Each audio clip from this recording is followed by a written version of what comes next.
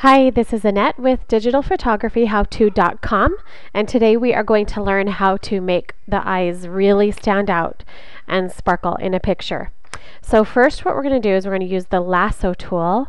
I'm going to get out my Wacom tablet with my pen. It's just easier to use that way. So I'm going to come up here I'm going to choose this lasso tool right here and I'm just going to draw a line around his eyes.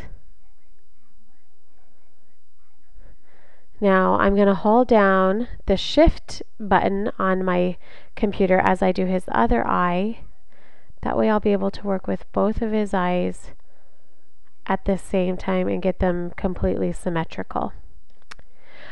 Okay, so now I'm going to come up here and actually I'm going to right click and I'm going to choose feather and I'm only going to do about five. There we go. Now we're going to come up here to filter we're going to choose sharpen and I'm going to choose just regular sharpen right there. I'm going to do it a couple more times. So right up here it has a shortcut. It will just copy the same thing I just did. I'm going to do it one more time. And then I'm going to come down here I'm going to take I'm going to do I'm going to try the sharpen more. We'll see. Okay, now see his eyes are really sparkly, but I might I'm going to go back. So I'm going to undo sharpen more and I like you can see how it's just kind of making them look like they're glittery and sparkly. Now I'm going to deselect, so I'll go up to select, deselect, and then I'm going to come over here to my eraser. I'm going to choose a really small. I'm going to use an airbrushed one right here. And you can already see where some of these points are in his eyes that have some sparkle. So I'm just going to enhance those a little bit. I'm just going to color it in. Just do a couple dots right here and right here.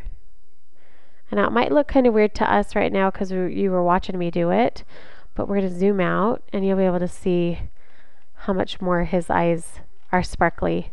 Isn't he cute? Now, if I want to enhance the color of his eyes, this is kind of a fun thing too. I'm going to go here, I'm going to highlight this eye, or I'm going to lasso it. So I'm going to get my lasso tool draw around. Now right here you can see that I got it up on his skin a little bit so I'm going to hold down the alt key and you can see that there's a negative sign beside it. So I'm what I highlight now it's going to subtract that from the original selection. Okay, now I'm going to come up here and feather it, or actually let's just right click and feather.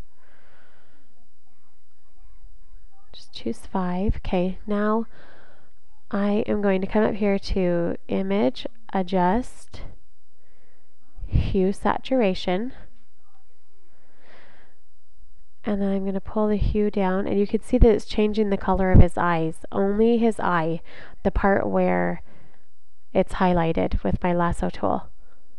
Now you can get some pretty cool colors here.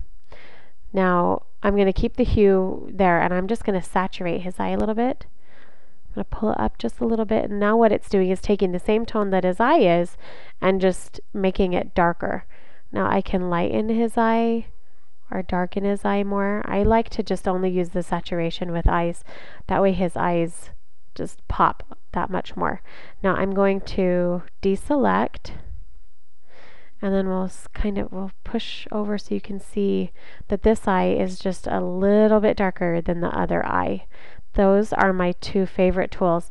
Now on the other tutorial that we did, we whitened the eyes and his eyes don't need to be really whitened, but I'll show you that again just in case you missed that tutorial. I'm going to feather it. That just gives it a more soft edge. I'm going to go up here to Image, Adjust, Hue, Saturation. And I'm just going to lighten it a little bit. And then click OK. Select, deselect. And then it just whitened his eyes just a little bit. He didn't need it so much though. But anyway, there we go. There's sparkly eyes. And you can use it with any portrait at all. It's really fun.